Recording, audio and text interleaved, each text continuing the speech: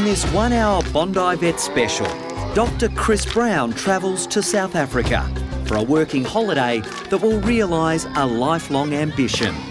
This has absolutely been a boyhood dream to not only see the animals but make differences to their lives. As a vet, it's, it's the holy grail. In an extraordinary adventure, It's amazing. he will meet the ultimate lion whisperer.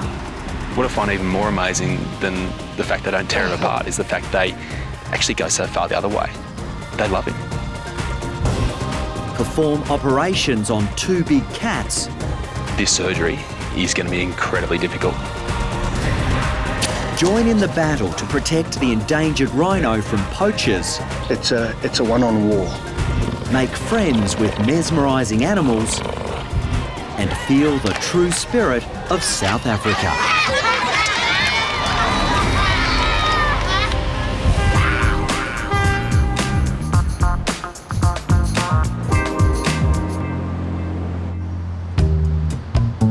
It's only three weeks now before Chris leaves on his long awaited trip to South Africa. Got an appointment with Dr. Wing. He'll be handling some of the world's most dangerous animals, but that's not what he's afraid of. It's a little bit embarrassing when you're six foot five and weigh 100 kilos and you don't like needles. Chris, do you want to come on through? Yeah, sure. Thank you. Now, because of the kind of work you're going to be doing, we do need to update everything. How many injections are we talking about? Today, we're looking at four injections. Four? Yeah. With every mention of each shot, I just started to feel more and more faint as it went on. Now I know how the dogs feel when they come in and see me. All right, Chris, we've got all the vaccines here. Mm-hmm. Okay, They're the- these are the four that I was telling you about. It's good. I was lured in here under the misapprehension that this was a vaccination, singular. I have no control over it. You can't fake this. You just start to get hot. The colour starts to drain away from what you can see, and everything starts to sort of go a bit grey. You right there, Chris? Mhm. And that's when you um feel like you're about to clock off. I'm going to prep you this time with a bit of chocolate. Chocolate's always helpful. So just lying down.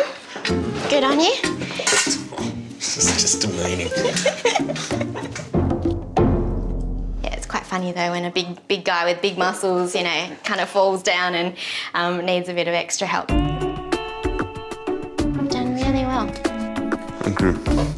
Professionally, Angela, you're probably finding it hilarious, but it's not funny for me.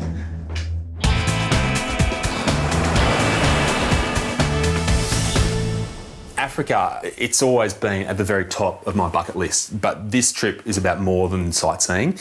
I've been invited by some of the most amazing animal conservationists in Africa to spend some time over there, but also get hands on with some of the most incredible animals on the planet. But, true to form, the plane leaves in two hours. I'm running late, so I better get going. After flying into Johannesburg, Chris's journey begins with a 100 kilometre drive to the Kingdom of the White Lion, a unique 2,000 acre conservation reserve. Just take a look at this. I reckon I'm about as far from Bondi as I could possibly be. I am about to go and meet a guy who absolutely intrigues me. His name's Kevin. He's known around these parts as the Lion Whisperer. He gets up and close personal to lions, but he wants me to get even closer, to operate on two of his lions. Now, for me, that is so far out of my comfort zone. They're still cats, right? Just big, aggressive cats.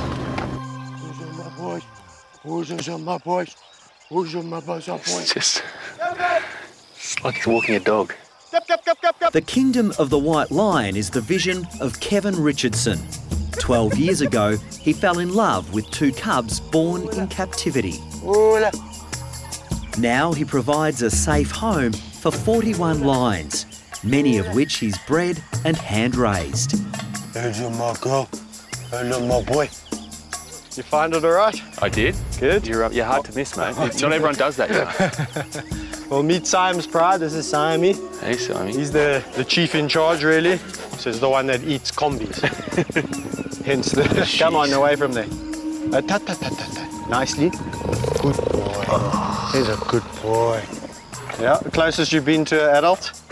It's when he looks at me and there's there's actually no wire between me. and. Yeah, no, it's a different feeling. And eh? it's a big window. And it's a big window, yeah. His head's Yeah. Uh, ta, ta, ta, ta, ta, ta, ta.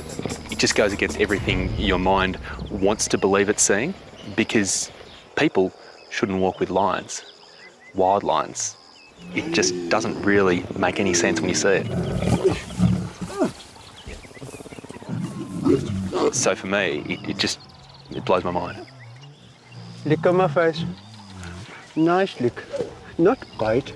While Kevin dreams of no lion living in captivity, the reality is the wild population is rapidly diminishing. My goodness, it's 40 degrees. Do you have to lie on top of me?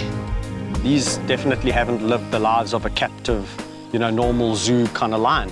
They've, they've gotten to uh, be in the bigger areas, live in prides, fight for females, you know, roar at other lions over territories. So they live as natural life as I could give them in captivity. You know, so I'm in Australia, people go to zoos and look at the animals in cages.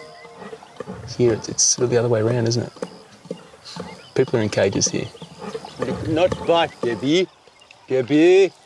You are a terror. You are a terror. No. Ah! I've always thought, you know, if you gain the trust of an animal and get to know it on an individual basis, then the sky's the limit. Once you've formed a, a really good relationship, there's no reason why when that lion gets to two, three, four, five, there's no reason why he should actually change his attitude towards you. What do you think when they see you in there? What do you reckon's going through their mind? These lions, they definitely know that I'm not a lion. So I'm almost like this honorary member of this pride. What I find even more amazing than the fact they don't tear him apart is the fact they actually go so far the other way. They love him. They're all over him. They just want to be near him and, and be scratched by him and, and roll around with him. It's real affection. What can I do? I can't. Thank you. Is that, a, is that what you call a lion hug? Feels I'm interrupting. Interrupting the love affair. Chris is about to become a lot more than an observer. There's been an outbreak of facial tumours in the pride, and Kevin has asked the Aussie vet to help out. We've had a recent spate of uh, uh, what, what's referred to as a sarcoid papilloma. They develop quite rapidly, um, and they also seem to be quite contagious. Chris will be operating on two lines Kevin's favourite Napoleon and the aggressive Maisha. That's got to be awkward for her, eating and, and Yeah. you know, socialising with that. Yeah. The only trick is, is she's not a, a hand-reared lion. she's more of a wildish lioness that's grown up in this pride. Yeah. Um, so yeah, she'll take our hands off if, you, if even if I try and you know probe around on her lip. Look at Napoleon on his nose there. You see his nose? Yeah. Oh, okay. That's the one I'm worried about as well. If there's any concern that he's not going to get his nose back together properly or it's going to be tricky, he, he is my baby. So daddy's got to intervene here and make sure what's best for baby. If there wasn't enough pressure about working on a line, he's not just a line. He's the very reason Kevin does what he does. So it's um, a lot of expectation.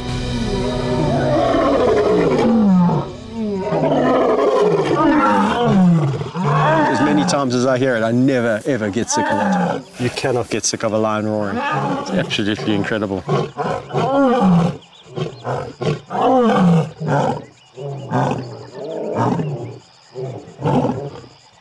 For me, the sightseeing part of this journey out to see Kevin is all of a sudden gone. Now it comes down to work. Kevin really should be very well aware of the fact I've never operated on lines before. Now it's my time to impress. I hope I can. Maisha and Napoleon need to be isolated in the shed so Chris can sedate them. Winner takes all.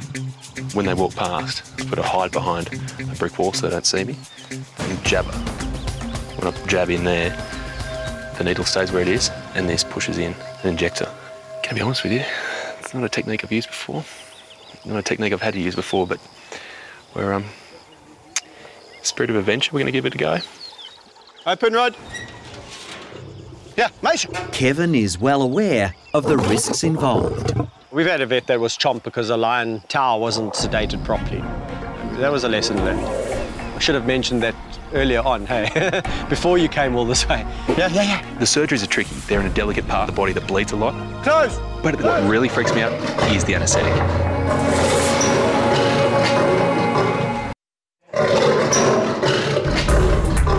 At the Kingdom of the White Lion, just outside Johannesburg, Chris is attempting to sedate a wild lioness so he can begin surgery.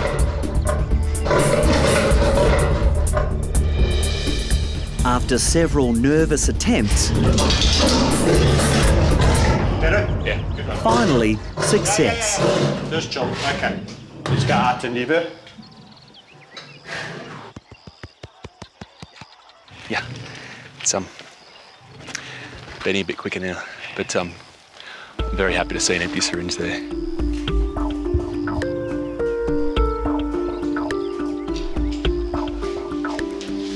And roller into this. Yeah. Can you just tap her eye for me? The big test of whether Maisha was actually asleep was tapping her eyes.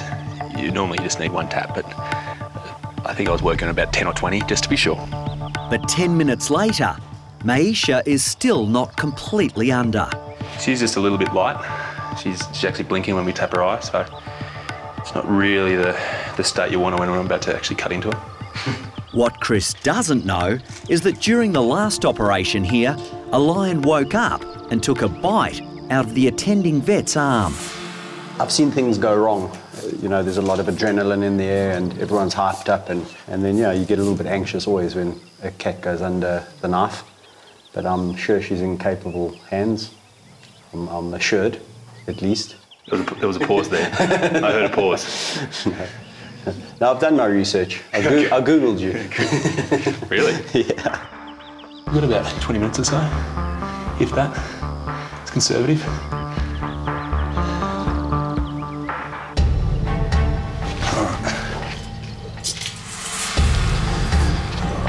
Let's go. It's going to be a cut, like a wedge, almost like a triangle to try to get in through this gum here. I'm doing Maisha first for a couple of reasons. First of all, her tumour is a bit more obvious. It should be a bit easier to get out. So, in a way, it's a bit of a warm up to the main game, to Napoleon. I'm trying to get a good margin around the base of it and just avoid the, the fact that incisor's about an inch away from my hand. To Chris's relief, there are no complications during the surgery. Okay, can we just get a check on this eye again? Good.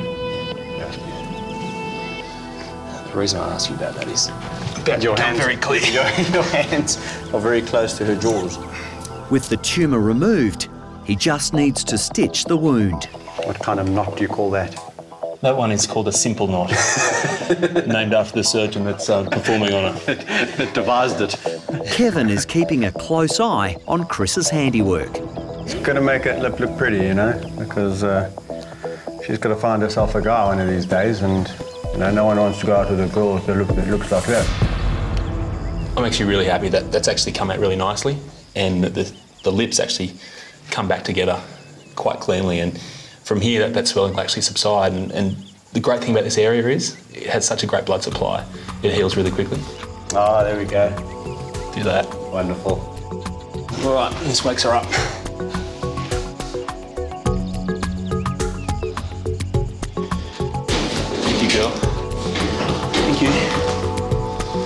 Most obliging. Get the hell out of here. That was really frantic. I, actually, a couple of times I had to try to distract the guys and just sit with my gear, fumbling for syringes, just so my hands would stop shaking.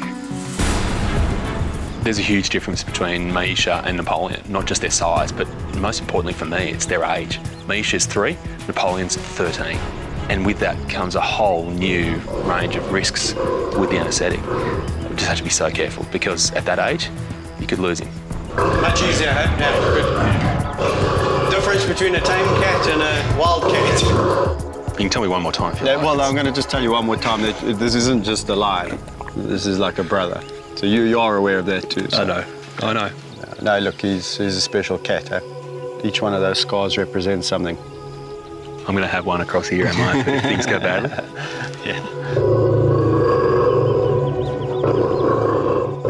Slowly, Napoleon is succumbing to the anaesthetic under Chris's watchful eye.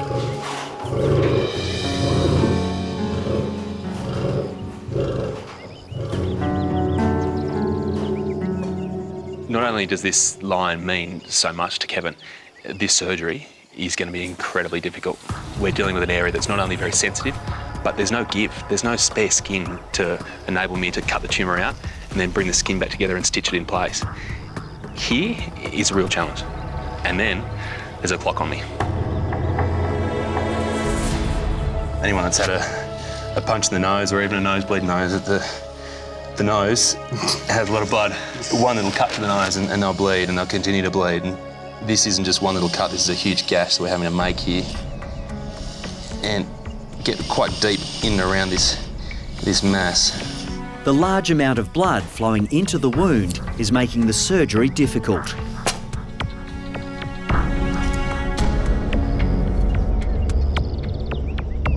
Okay, so there it is there. The real challenge here is actually closing this wound here because you can see it's, it's big. It's about a centimetre and a half wide and about two centimetres long. And in an area like the nose, that doesn't come together easily or, or quickly. I just can't understand how you're going to do it. Over to you, Chris. Thanks, Kevin. But even Kevin is happy with the final result. Seriously impressive. Not done yet. No, it's looking really good. Don't be so modest. When you sign that line, you commit to becoming a vet and going to vet school, you, you don't ever for a second think that you're going to be in a place like Africa operating on a big male lion like Napoleon. It's awesome. It's just not what you ever, ever planned for, but you're so happy it happened. so well done. That's, that's my stress meter. Yeah, I That's know, I can see okay? that. That's, Yes. that's registering high So right this now. is like 9 out of 10 stress meter? Yeah. Sure. Okay. Good job, good job. That's um, that was intense. It's just full on. I mean, awkward position, and I'm on my knees, lying down, and all the while there's just that big head staring right at you, and he's anaesthetized, but those eyes look straight through you. So I know. Now the surgeries have been successfully completed, Chris has told the story about what happened to the last vet who came to the kingdom. You serious? A vet actually came here and got got chomped on. Really? It's good, isn't it? That would have been in the um, the column marked essential knowledge, but um, he didn't pass that on. Thank you. After the anaesthetic wears off, Maisha is demanding to be let out. That's a good boy. But Napoleon needs a lot more TLC. I'm sorry. I'm sorry, but it's for your own good. Yeah? Yeah, it's actually looking very good. I mean, he's very sore. You can see he's feeling very sorry for himself. But he's a he's a tough cat, eh? You've had worse than that in your life, my boy. It's time for Chris to head back to Johannesburg. But before he says goodbye, Kevin introduces him to some miniature Napoleons. oh, yeah, Ooh, you're scary, aren't you? Yeah, I bet. For you, is this where the relationship starts? Yeah, absolutely. If you're going to form a relationship with a lion, it, it, it really should start at this age. Even at this age, it's about enrichment. In captivity, you've got to, you know, tire or just keep them occupied all the time. Stimulate those little young minds. I am at my happiest when I'm with the lions because it is a way of me finding a sanctuary.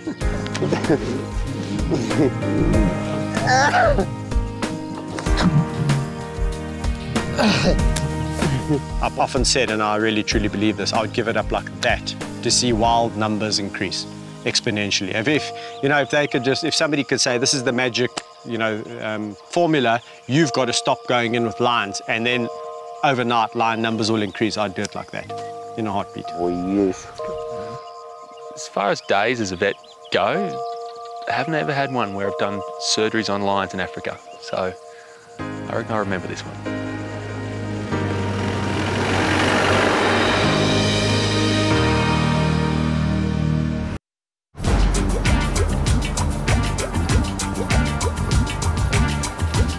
I'm in Johannesburg, and what a city.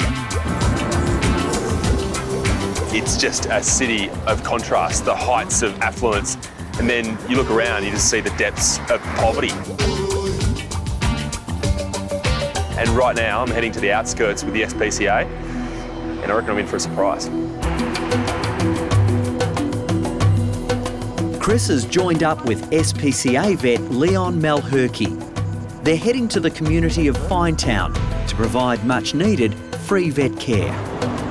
The problem that people have in this, you know, remote areas is such they don't have transport, and they have a lot of animals. So, as I say, if they can't get to us, we've got to get to them. What I can't believe is that 20 minutes ago we are in the centre of Johannesburg, a thriving economic centre, and then we come here. They're worlds away from each other. Word, get, word gets around when you arrive. Yeah, Yeah. yeah. The people will start coming. It's not long before the locals are surrounding the mobile clinic. People are just coming from anywhere and everywhere. It's loud, it's, it's noisy, it, there's just animals appearing. I just hope we can handle them all. The vets provide basic health checks and desexing clinics. But today, the focus is on providing the all important vaccinations for the killer disease, rabies. That one dog bite him here. Ah, okay. The blood was coming from the mouth. From the mouth. Yeah. If your dog gets rabies, he's going to bite the people. You're going to die as well. There we go. Oh boy. You're a very good boy, aren't you? It's lack of money, not lack of love, that's threatening most of these animals, including flamboyant Mary's reluctant buccaneer. How long have you had him for? Uh, I three, four months. He's at least six months. Six months. He's got all these teeth. Mm. Yeah. Mm. Oh, yeah. Yeah. He's got fleas. Yeah, yeah. and the other one is big and is brown. Yeah. See here? Is this what you mean? There's it. Yeah. Yeah. Yeah, it's ticks. Yeah. Yeah, so he gets ticks as well. what about those? What's wrong with it? Maybe we think about getting him desexed so he, he stays at home more and stops fighting? You want to kill it? No, no, no, no, no, no, no. There is a love for dogs here. You look at Mary in the way when she talks about Buccaneer, a big smile comes across her face. You just need to give them the means to look after their animals and they'll do it. There you go. He didn't even jump. He's a tough boy. Mm. Yeah.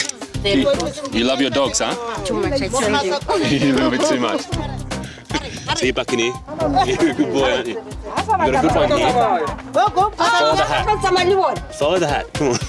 Come on, buddy. Buccaneer is what the SPCA's program out here is, is all about. He's got problems, but they're really easily fixed. And if you can just do a few things like vaccinations against rabies and, and sterilise him, then Buccaneer could live a really long and, and quite happy life. With Mary a satisfied customer, it's off to the local primary school to talk to the students about looking after their pets.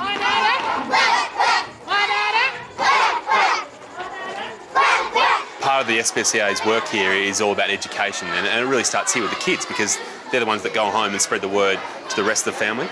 The education today is coming from the esteemed teacher known as. Yep. So in Australia, what I do is I look after animals. So I'm like a, a doctor for animals. And so today we talk to you about making the animals happy and healthy and jumping like kangaroo. If you have a dog At home, I want you to woof. If you have a cat at home, I want you to meow. If you have something else at home, make that noise, okay? okay. In three, two, one, go.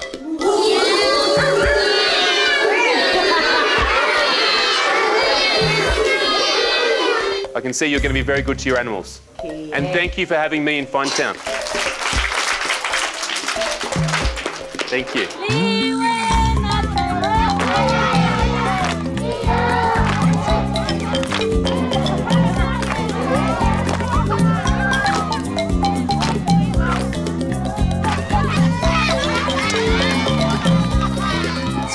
The spirit of Africa just infused into my body, and a moment later, it was gone. And it was me on that dance floor.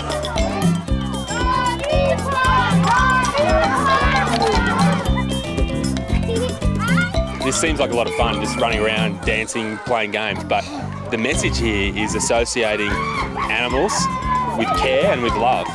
And that's what the SPCA is doing out here. It's a hell of a way to get a message across, and it works. I'll see you later.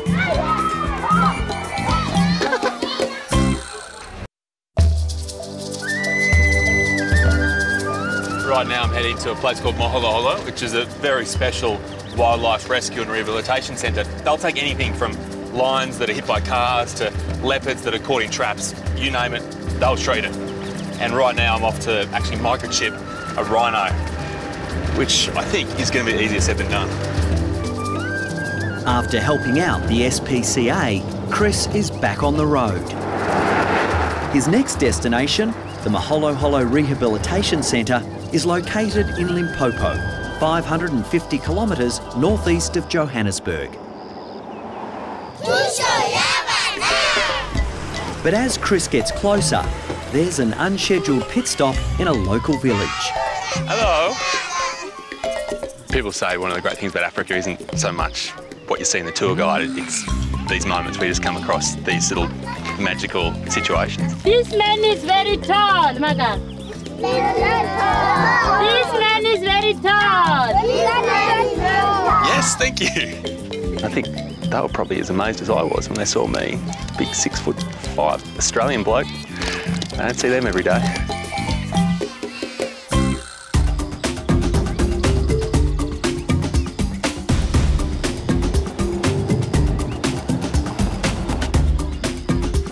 Well, well, well, I got to meet a long, tall guy like you from Australia. No wonder you're good cricketers and rugby players, eh? Tall so, and strong. So Look at me, I'm the animals, small. Huh? You're right. welcome, welcome. Wildlife warrior Brian Jones set up Moholoholo as an animal refuge back in 1992. There are a lot of challenges for the animals in Africa. They're getting poached, they're getting poisoned, they're running out of habitat. Where do they go when things get tough? Thankfully, there's Moholoholo.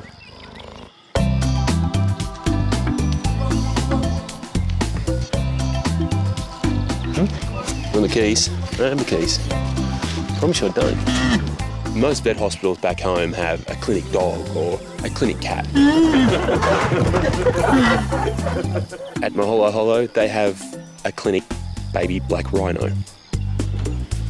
They um, sign on the door for a reason, I think. As a calf, Landella was rescued from the wild after her mother abandoned her when the baby became stuck in a mud pit. So you look after her pretty much 24 hours a day. When you leave her to go to the bathroom or to go get her milk or something, she'll just scream and cry until you come back. Since being rescued, minders like David give Landella round-the-clock care. Come on, come on! Including games of chasey to keep her interested.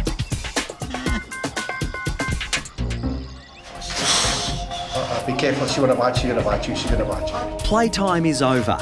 Brian's now recruiting Chris to help sedate an African serval. Down, okay, good shot, well done. Well done, Docs. That's pretty good.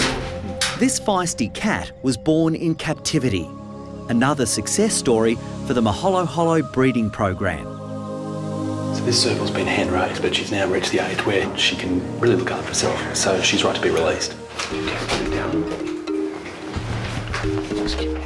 Now she's getting a collar put on her, and that way we're going to know where he is. Key here is just getting the, the actual diameter of this collar right. The fit's got to be spot on. If it's too loose, then these guys will always find a way to, to flick it off over their head. And if it's too tight, it's just going to cut into their neck. Doc, you could actually pick her up here. Turn her face that way. There you are. Well done. Well done. Put it inside. There's it. Close the door. Close the door. Hey, on the tail. The tail's short enough. we need to make it shorter. The serval will be released later, after she shakes off the sedation. Now there's time for Brian to introduce Chris to some of his favourite residents. Wow.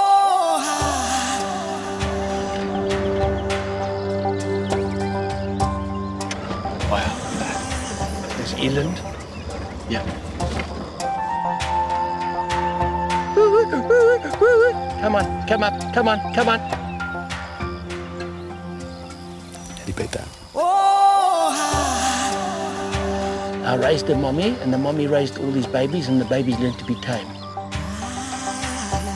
We got to protect it. We got to do something to protect it, you know. And it, Africa's the, it's just dying slowly, slow, like a cancer. And I mean, these beautiful creatures. My, what is their future?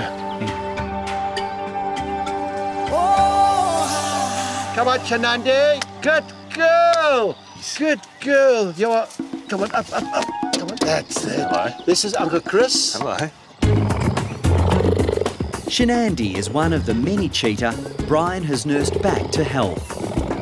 They brought it to me, run down, mange, full of ticks, parasites, a horrible state. She killed kudu, she killed impala full grown, she's a good hunter.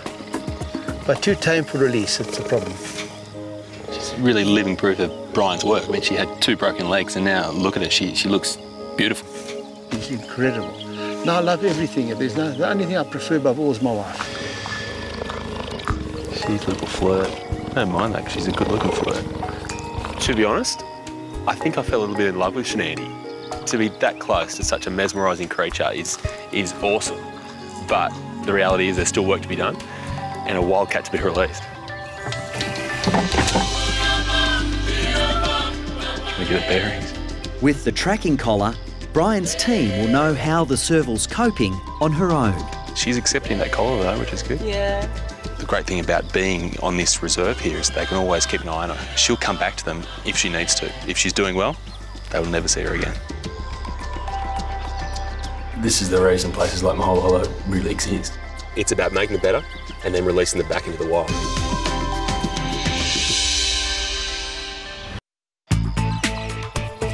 Um, everybody ready? Here we go. please. Yeah. Okay. Ready You go. jump with us. Yeah. The guy comes with us. All right, Hein, let's go. At the Moholoholo Rehabilitation Centre, Chris has been asked to join in a mission to microchip a wild rhino. So if he doesn't like what's going on, he's going he's going to charge. He, he might. Conservationist Brian Jones, who runs this oasis for endangered animals, knows the risks involved. If he did come, we'd have to run for our lives and get in the vehicle. And I've had them smash the vehicle a couple of times. They put their horn, fortunately, they put their horn underneath and lift the vehicle up. So it's only the, the back horn that punches a hole. Cody, Cody, we are on our way now, Cody. Poaching of rhino is something you hear occasionally about in Australia, but in Africa at the moment, it is the news story because last year 330 were killed. We're not talking small money for this rhino horn. We're talking about $50,000 a kilo, and in an adult full-size rhino, there's about five kilos of horn in each rhino. That's a quarter of a million dollars. Chris and the team are searching for two rhino brothers. Okay. It's the smaller of the two males who still needs a microchip. That's him there.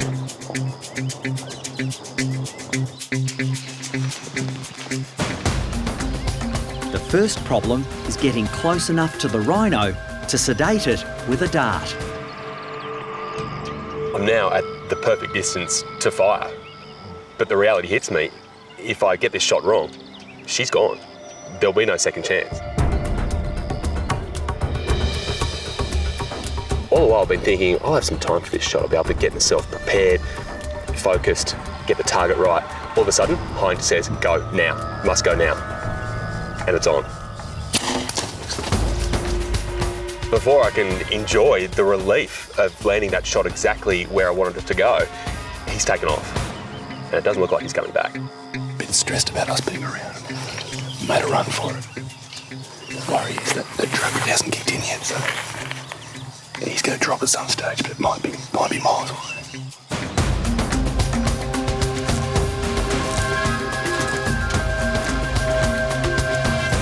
Spotting some tracks and they're going through this way.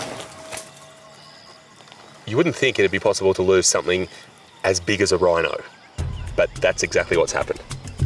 But thankfully, what have we got? Hein's tracking skills. The guy's incredible. He's looking at the dirt. He just sees things that I can't even see and goes, not this way, gone that way. And all of a sudden, we're getting close to that rhino. I see the big one? Yeah, here's the other one. Okay, wait. Hein now alerts Brian to their location.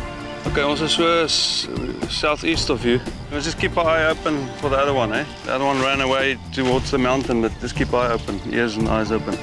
He's stumbling around, so it's certainly made him immobile. They stand and sleep like horses, and then at some stage they go down. Chris and Hein are now carefully approaching the sedated rhino. There is still a risk it could turn and charge. To be that close to a rhino, it's one of the most dangerous animals in the world. It's this weird mix of exhilaration and absolute terror all at the same time.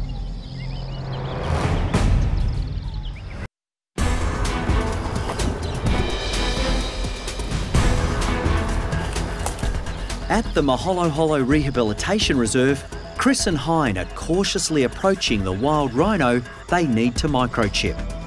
Yeah, just watch out. The other one is just running away here. Yeah, okay, that's fine. Hey, it's going down now.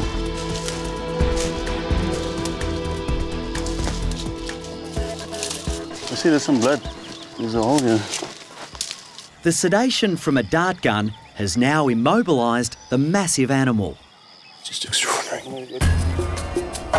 Brian and his team have been given the all clear to bring in the equipment for the dangerous procedure. It really hits home for me when you're here and you see those animals and you look into their little eyes and they're caught up in the middle of this war and they don't really know why they're involved. What they use the horn for is, is honestly a, a bit of a mystery as far as scientists are concerned because it's claimed to have every benefit from being an aphrodisiac to helping arthritis to uh, people even claiming it cures cancer. It's, it sells for up to a million per horn, it's, it's ridiculous money. It costs them their life, and they pay the ultimate price. They're getting ruthless. They're going with GPSs. They're going with international cell phones. I was talking to rangers in the park when I was there now, and they said, Brian, they have a scout that goes out first. He finds a rhino. He hones him in with the GPS. They shoot it and move out. And in two days, the horn's in China. It's a, it's a one-on war. Yeah, he's still nice and pink there. The drilling has started, so the tiny microchip can be placed in the horn. This male is actually very close with the other bigger male, and he's just been lurking around the bushes over here. So his constant concern is the fact that he's just very close by. He's not liking what we're doing to his mate, and he could charge at any minute. Hole's nice and clear, so that's ready for the chip now. Let's see the chip in it. This is a medical procedure with a huge purpose. The idea of getting that microchip into that horn means that it can be tracked anywhere in the world. They know exactly where it's come from, and that's the big step in trying to really rule out this horrific crime. 4B, 7F, 7 Alpha 2033.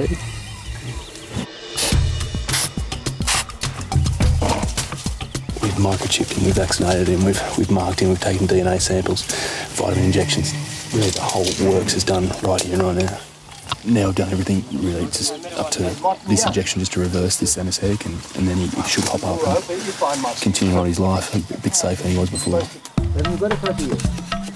It will be only minutes before the rhino wakes up, and the team needs to clear his departure path.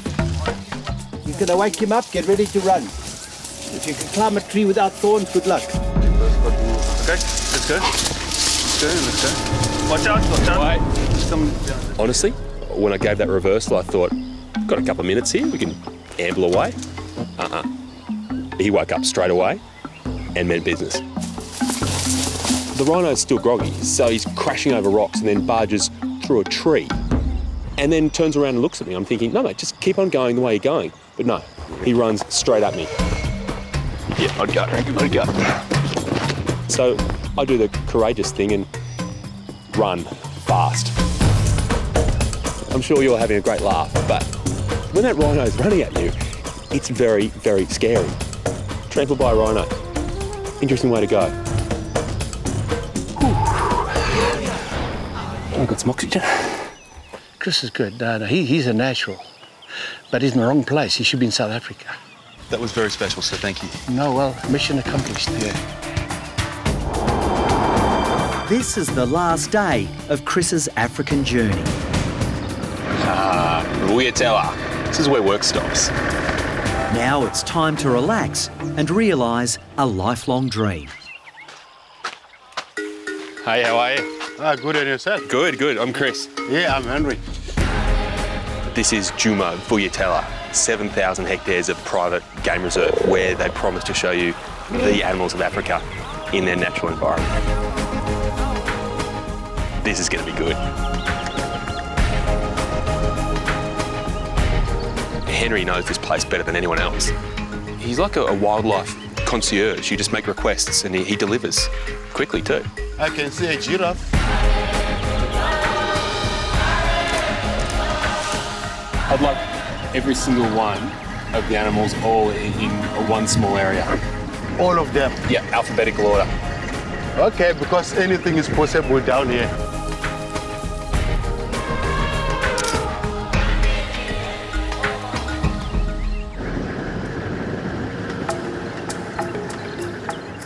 The leopard moving through the long grass just through here.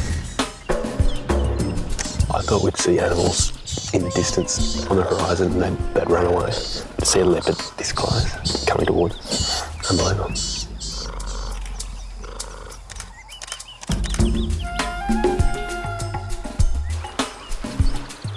It's very cool.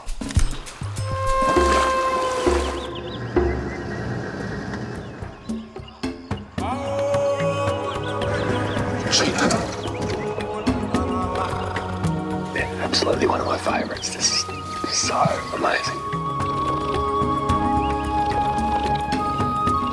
This has absolutely been a boyhood dream to travel to Africa to not only see the animals but to be up close to them and make differences to their lives. As a vet, it's, it's the holy grail. I think back on everything that's happened in just a few days, and it's incredible. Meeting Kevin and being allowed into the inner sanctum with those lions was a rare privilege. And then to operate on his best mate, Napoleon. Not done yet. It has to be the most nerve-wracking surgery I've ever done. Microchipping a rhino with Brian, a man who loves these animals and this land so much, and meeting so many other wonderful locals with such open hearts on this journey. It's truly been a trip of a lifetime, and I feel absolutely humbled by it. It's not an experience I'll, I'll ever forget.